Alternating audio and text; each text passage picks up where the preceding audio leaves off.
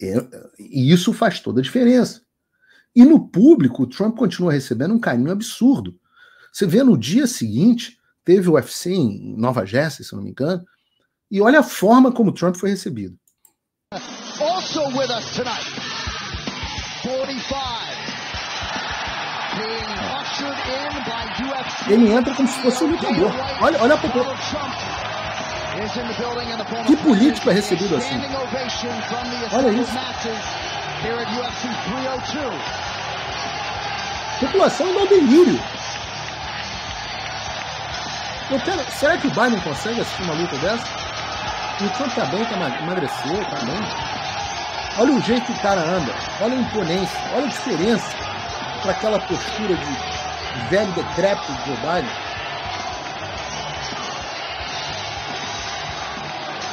É, é assim, um estádio indo abaixo. E não satisfeito.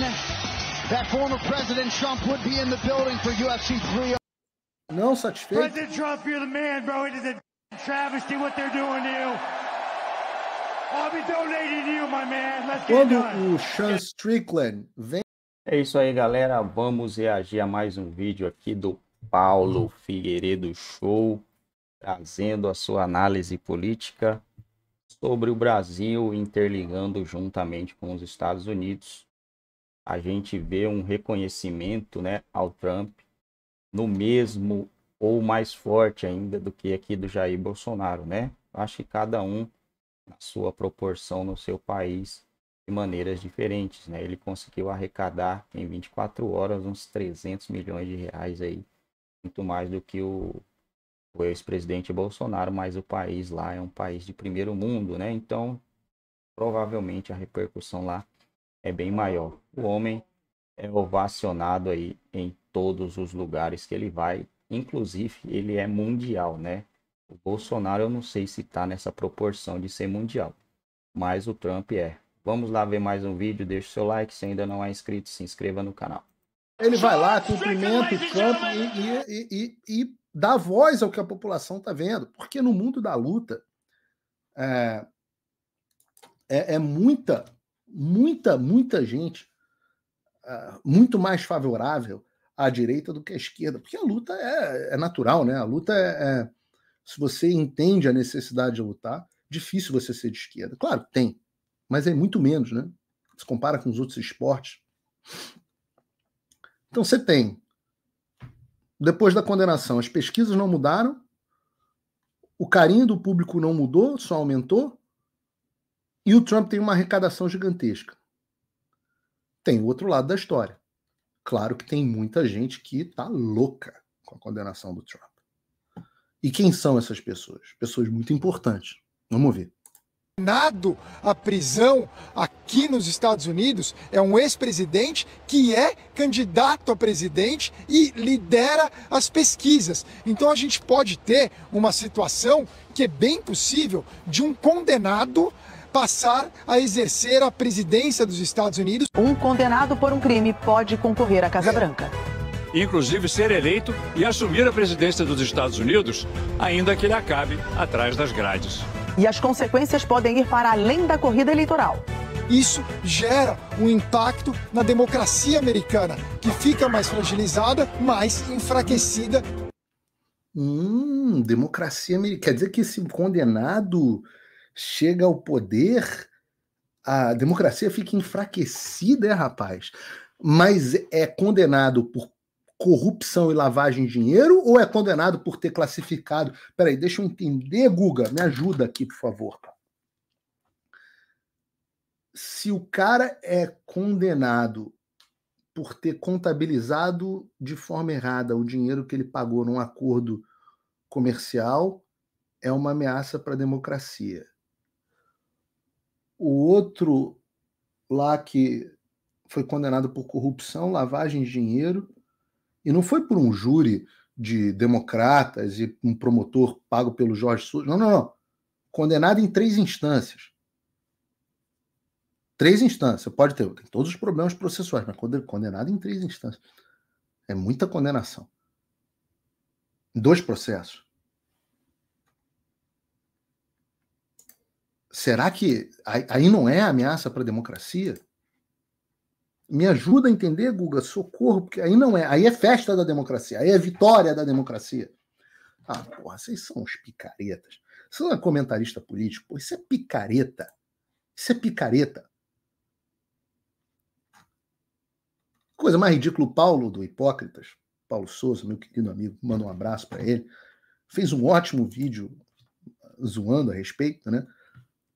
Mas eu digo pro Paulo, é difícil competir com esses caras, velho. Difícil. Nado a prisão. Porra, Paulo, você me desculpa. Não dá para competir, fazer humor no Brasil é impossível. Como é que você vai competir com o Guga Chakra? Porra, esse troço é hilário. Esse troço é hilário. O grau de dissonância. Eu, eu não sei se é dissonância cognitiva ou gaslighting. Não dá para explicar hoje no programa, eu já sempre explico esses dois termos pesquisem, dissonância cognitiva ou gaslighting. Eu não sei qual dos dois. No caso do Google, o Google ele é muito. Tadinho, ele tem um QI ali, 96, 97, mais ou menos. É, e se ele achar que eu estou caluniando ele, não tem problema. Prova que eu estou errado, faz um teste de QI e apresenta um resultado maior. Duvido que aconteça. É, então, nem imagino que seja gaslighting. Na verdade, o que, que é isso? Né? É, eu, eu, isso é o mestre mandou. Não foi a Globo que inventou isso. A coisa fica ridícula no Brasil porque é a cópia do que está acontecendo nos Estados Unidos. Então, o que, que o Guga está fazendo? Ele está repetindo o que, aconte... o que, que ele ouviu aqui nos Estados Unidos. Aqui nos Estados Unidos, a imprensa democrata tá, meu Deus, um condenado e tal. E no Brasil, como eles repetem tudo que os... eles dizem aqui nos Estados Unidos, fica essa coisa meio ridícula. Mas é por isso que eu digo para vocês que não adianta vocês ficarem tentando entender a política brasileira sem entender o que se passa na política global e principalmente na política americana. É por isso que eu fico enchendo o saco de vocês com pauta dos Estados Unidos o tempo inteiro. Por isso que tem tanta notícia dos Estados Unidos no paulofigueiredoshow.com. Porque vocês precisam saber de onde vem a ordem.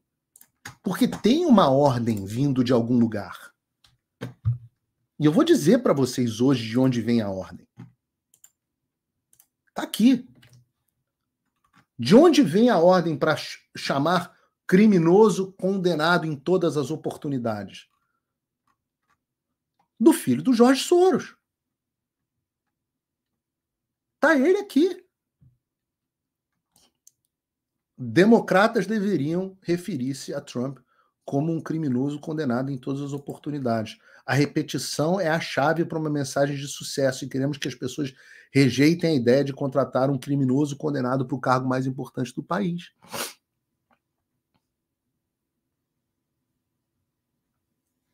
A família Soros que financiou a campanha dos promotores em todo o país, mas financiou muito mais do que isso.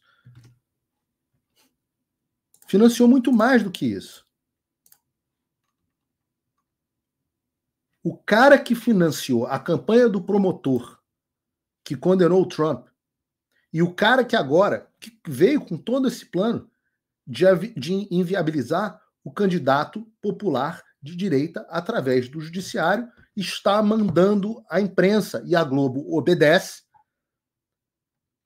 falar sem parar. É um criminoso condenado, é um criminoso condenado, é um criminoso condenado. Soa familiar para você essa estratégia de um bilionário utilizando o judiciário para inviabilizar o candidato popular da direita? E se eu te disser que essa é a mesma turma por trás da condenação do Bolsonaro no TSE? A mesma turma que hoje transformou o Bolsonaro em inelegível. Ó, se você não acredita em mim, depois de tudo, tá aqui, ó. Think Tank que manteve parceria com o TSE é financiado por quem? Soros. TSE, não falei, não estou mais falando dos Estados Unidos. Tá aqui, a Open Society Foundation, do Jorge Soros, financia o Instituto Garapé, que colaborou com o TSE entre 2022 e 2023.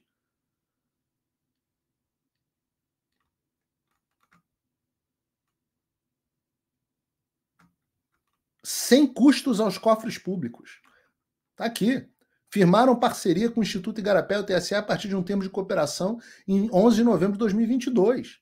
A Assessoria Especial do, do, de Enfrentamento à Desinformação solicitou o contrato. E aí você entra aqui, é, Sleeping Giants Brasil, Fundação Escola Superior da Defensoria Pública. Eu não preciso, já mostrei aqui para vocês várias coisas do Soros, além dos Sleeping Giants, agência pública, que fica aquela menina que eu esqueci o nome, fazendo noticiazinha para difamar o que a gente faz nos Estados Unidos, trabalhando com o TSE, tudo financiado por Soros. Lacais dos Soros, putinhas dos Soros. O, o, Instituto Vero, lá, acho que é esse o nome, porque tem que ser alguma coisa gaslighting no nome, né? Do Nilip Feto, financiado pelo Soros. Esse é o TSE que utilizou o mesmo expediente, ou seja, e, e, e, o mesmo, a mesma turma do judiciário que também está tentando botar o Bolsonaro na cadeia. E é por isso que eu falo: se você não entende essas engrenagens que tem por trás, fica fazendo discussão política no dia a dia, no farejinho, não tem condições de participar do debate público. É por isso que eu trago essas pautas aqui, porque ninguém vai trazer isso para você. Pô, presta atenção no que está acontecendo. Tem, um, tem um, um cara, ou na verdade um grupo, de um punhado de bilionários querendo decidir quem vai mandar no mundo, pô. Esse cara está alterando, está tentando alterar o resultado da eleição americana. Talvez na direção oposta que ele quer. Mas no Brasil ele foi bem sucedido. No Brasil ele foi bem, bem sucedido. O tema do meu vídeo na PragerU, se você não assistiu, assista. Eu vou colocar ele em português legendado no site. Ontem a PragerU colocou. É um vídeo extremamente ousado, talvez o vídeo mais ousado que eu tenha feito nos Estados Unidos, explicando como o TSE do Alexandre levou o Lula à presidência. O que não dá para, o que não deu para dizer ali no vídeo, mas eu disse no Congresso, é que boa parte disso foi financiado por esses caras, pelo Jorge Soros, o Atlantic Council, que criou todo o framework teórico utilizado pelo Alexandre, financiado pelo Jorge Soros. Então o cara decide quem vai ser o presidente do Brasil e quem vai ser o presidente dos Estados Unidos. E nego chama essa porcaria, essa bosta de democracia, instituições democráticas. Vai pastar, porra.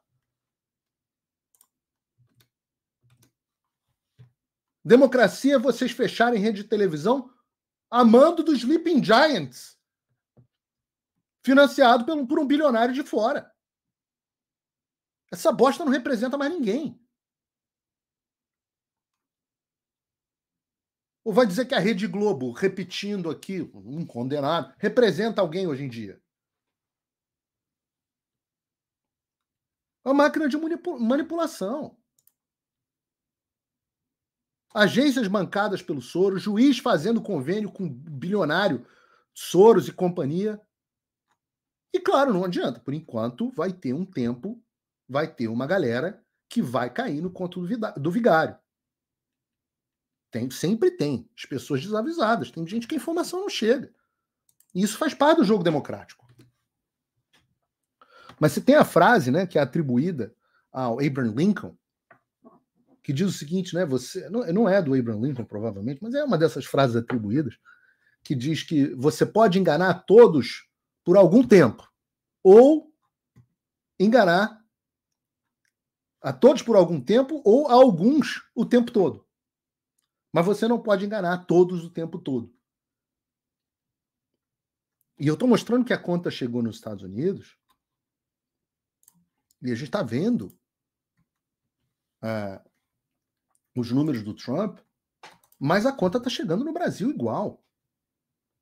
A gente vai falar sobre a aprovação do judiciário no menor patamar da história, de 14%, a gente já vai falar disso daqui a pouco.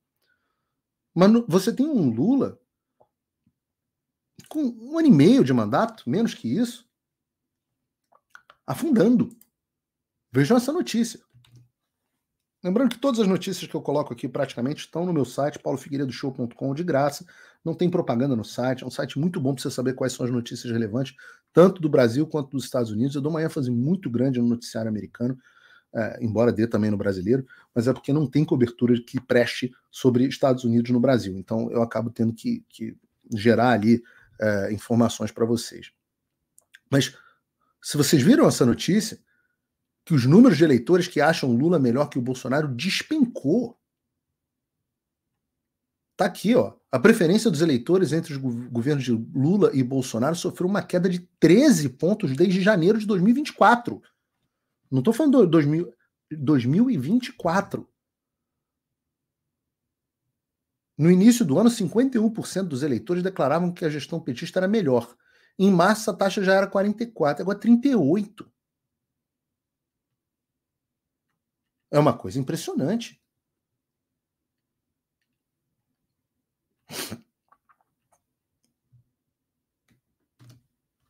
E tá aí.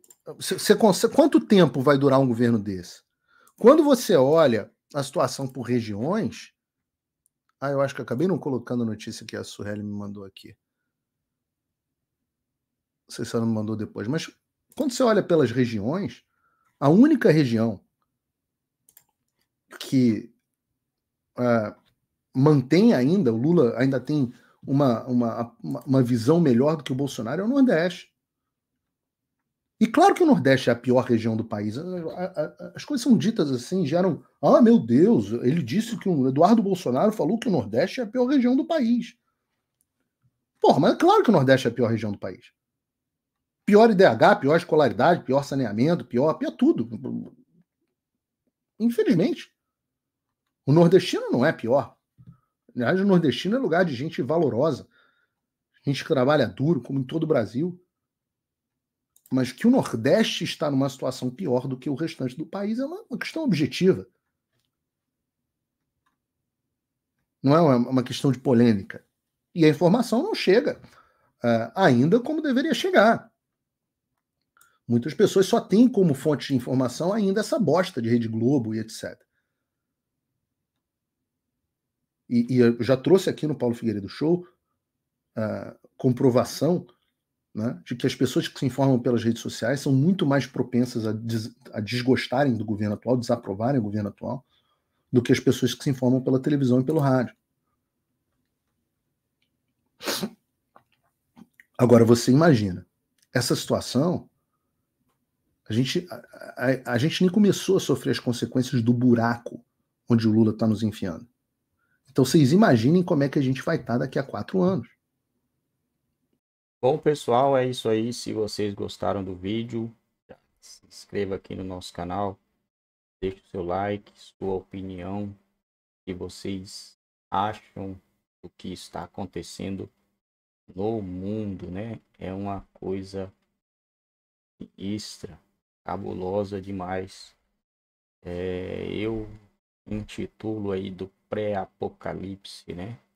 Se a gente for pegar ali o que está escrito na Bíblia e o que está começando a acontecer e essa tal agenda aí 30 bate, viu? É um livro que foi escrito alguns mil anos atrás e mesmo assim consegue encaixar perfeitamente as coisas que estão acontecendo agora, né? Multibilionário financiando coisas ruins. Por que motivo? Qual é a finalidade disso? A gente fica curioso, né? O cara, em vez de estar tá salvando vidas, tá alimentando aí as pessoas na África, né? Ele está financiando governos, financiando pessoas. Ah, é teoria da conspiração. Ó bobo que acha, né? Ó bobo. Pesquisa aí quem é esse cara aí. Pesquisa quem é o Sorinho aí que vocês vão ver o que esse cara já fez e o que ele faz, né? Você vai ver aí. Quem é e o que faz. Coloca o nome dele aí que vocês vão ver quem ele é e o que ele é capaz de fazer, o que ele já fez. São coisas assim que eu prefiro não falar aqui para não não correr risco, né? Mas é, é negócio cabuloso. Coisas cabulosas, né? Agora vamos estar tá aí na torcida, né? Para que o Donald Trump vença, mesmo sendo condenado, mesmo sendo preso por. É igual. Gente, a gravidade dessa denúncia aí, ela é a mesma, tem o mesmo nível ali da importunação às baleias, né? A mesma pegada, não tem gravidade nisso. O negócio é que os caras querem inventar algo que não, não tem, eles não acham nada. Aí o que, que eles fazem? Ah, não achamos nada aqui no cara. Vamos inventar, vamos colocar, vamos procurar. Sempre tem. Todo mundo tem alguma coisa, gente. Todo mundo. Pessoa que tem mais de 30 anos ali, se for procurar em algum, ah, numa festa, num isso, tá, vai lá, investiga e vai achar alguma coisa de alguém. De todos eles.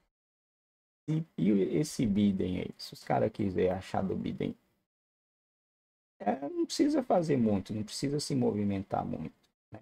Olha o tanto de notícia que saiu dele aí. De sites cabulosos, né, de fotos sinistras, envolvimento com, com as coisas sinistras. E por que que não é feito nada? Porque tem alguém ali muito forte por trás de tudo isso, né? infelizmente, financiando toda essa bagaceira aí. Eleições, partido de Bolsonaro poderá lançar nome próprio para sucessão na Câmara. Urgente, Justiça determina busca e apreensão na sede do PT.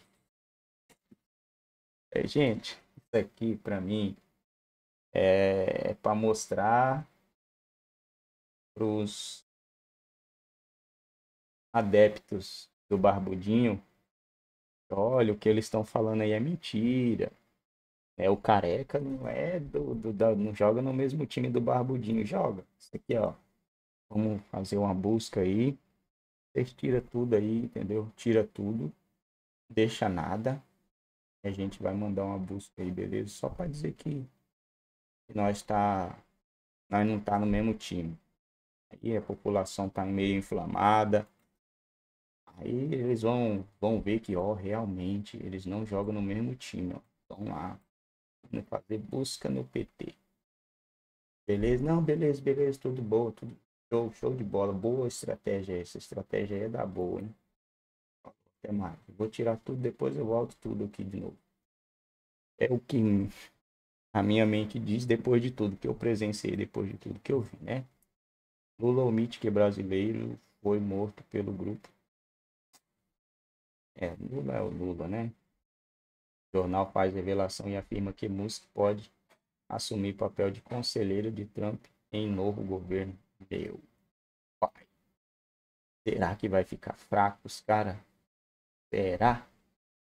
Tá maluco?